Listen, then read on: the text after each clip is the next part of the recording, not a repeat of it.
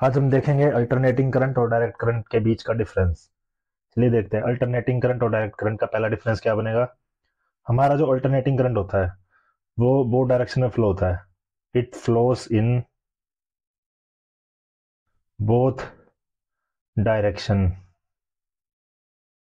alternatively हमारा जो ये वाला करंट होता है अल्टरनेटिंग करंट होता है हमारा, इसमें हाफ़ साइकिल के लिए पॉजिटिव होता है हाफ़ साइकिल के लिए नेगेटिव और ये हमारा इंस्टेंटेनियसली चेंज होता है। एंड इट चेंजेस इंस्टेंटेनियसली ये हम डायग्राम से समझेंगे। जबकि हमारा जो डायरेक्ट करंट होता है, वो होता है हमारा ओनली वन डायरेक्शन में फ्लो होता है। It flows only in one direction and it remains constant. हमारा एक ही डायरेक्शन में करंट फ्लो होता है डायरेक्ट करंट और ये हमारा कांस्टेंट रहता है। नंबर टू पॉइंट देखेंगे हम, हमारी वेव फॉर्म हमारी वेव फॉर्म बनेगी कुछ ऐसे।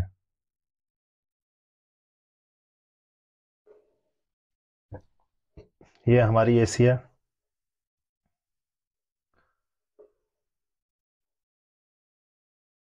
Pi, two pi, three pi. ये हमारा हो जाएगा प्लस आई एम। ये हो जाएगा हमारा माइनस आई एम। और ये जो हमारी कंप्लीट वैल्यू हो जाएगी, ये हो जाएगी पीक टू पीक वैल्यू या पीक टू पीक करंट। अब हमारी जो पहली इक्वेशन है it flows in both direction alternatively पहले प्लस में रहेगा, फिर नेगेटिव फिर पॉजिटिव फिर negative plus minus plus minus. और इट चेंज इंस्टेंटेनियसली इसकी जो वैल्यू होगी वो हर इंस्टेंट पे डिफरेंट होगी। इस इंस्टेंट पे अलग, इस इंस्टेंट पे अलग, इस पे अलग, इस पे अलग, इस पे अलग। सब पे हमारी जो वैल्यू होगी वो अलग होगी। अब हम डीसी में देखते हैं। डीसी हमारी कांस्टेंट होती है। डीसी हमारी कुछ इस तरह से ड्रॉ होगी। ये हमारा टाइम हो गया। और ये हमारा हो गया आई डी सी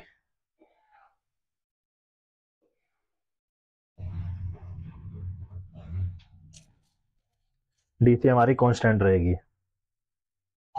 ये हमारा हो गया मैक्सिमम एम्पलीट्यूड इसको बोलेंगे हम आई डी सी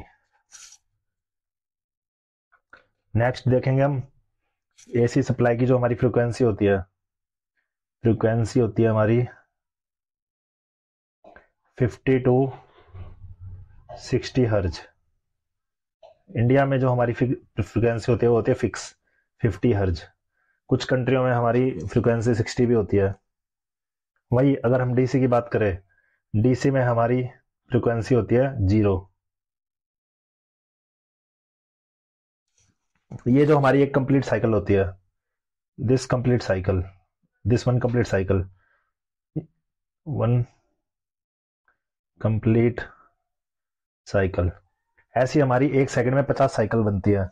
वही हमारी फ्रिक्वेंसी होती है फिफ्टी हर्ज नेक्स्ट पॉइंट आता है हमारा एसी एसी में हमारा क्या क्या होता है? एसी में हमारा होता है magnitude, direction.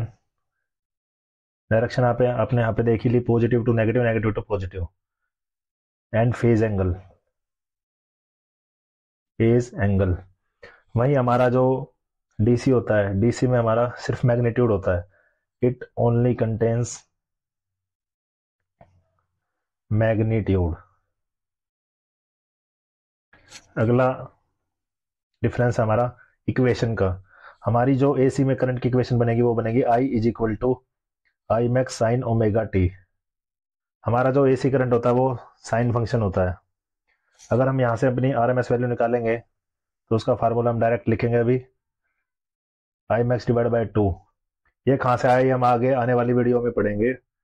I R M S is equal to I M I max over root two ये हम आने वाली वीडियो में पढ़ेंगे, इसका एक पूरा डेरिवेशन बनेगा। वही हमारी जो एसी की एवरेज वैल्यू होती है, वो होती है हमारे पास ज़ीरो देखिए कंप्लीट साइकिल है, इसकी हमारी एवरेज वैल्यू ज़ीरो होती है। वहीं अगर हम डीसी में देखें तो डीसी में हमारा current I equal to I D C होता है। वहीं डीसी के केस में आई आर एम एस और आई एवरेज दोनों की वैल्यू आई डी सी के इक्वल ही होती है। नेक्स्ट पॉइंट देखेंगे हम अपना। हमारा जो एसी करंट है, वो इजीली ट्रांसमिटेड हो सकता है। It can easily transmitted over the long transmission line over the long transmission line it can't be transmitted DC को हम लॉन्ग ट्रांसमिशन लाइन से ट्रांसमिटेड नहीं करते। It can not be transmitted over the long transmission line अगला point हमारा क्या होगा हमारा जो एसी होता है, उसमें हमारा रजिस्टिव इंडक्टिव और कैपेसिटिव तीनों कंपोनेंट अवेलेबल होते हैं। R L C component available वहीं हमारा जो डीसी में होता है डीसी में हमारा सिर्फ़ आर कंपोनेंट होता है। आर कंपोनेंट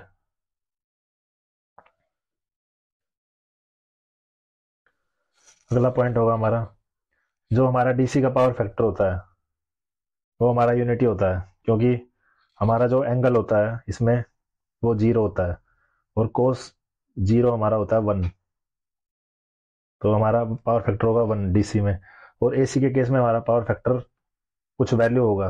पावर फैक्टर हमारा आएगा ज़ीरो टू वन वही अगला पॉइंट देखें हम।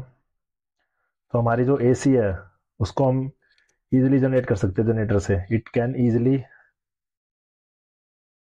generated with the help of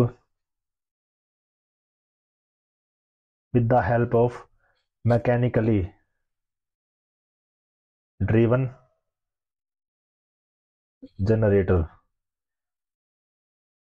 वही हमारी जो डीसी है, उसको भी हम जनरेट कर सकते हैं डीसी जनरेटर के थ्रू लेकिन इसकी जो हमारी आउटपुट मिलेगी, वो प्योर डीसी नहीं मिलेगी।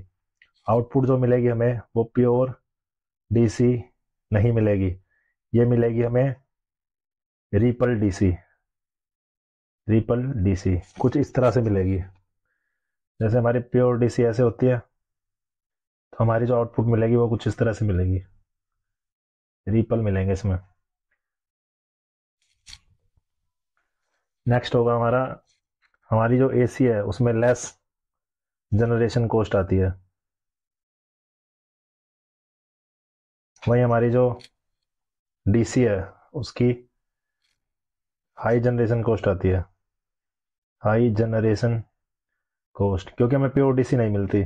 फिर हमें उसको फ़िल्टर सर्किट लगा के प्योर बनाना पड़ता है। हमारा जो ग्यारहवा पॉइंट है,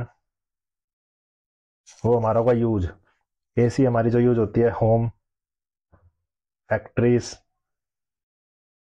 और कमर्शियल के लिए यूज़ होती है। वहीं हमारी जो डीसी होती है, वो इलेक्ट्रॉनिक सर्किट्स ऑपरेट होते हैं हमारे डीसी से।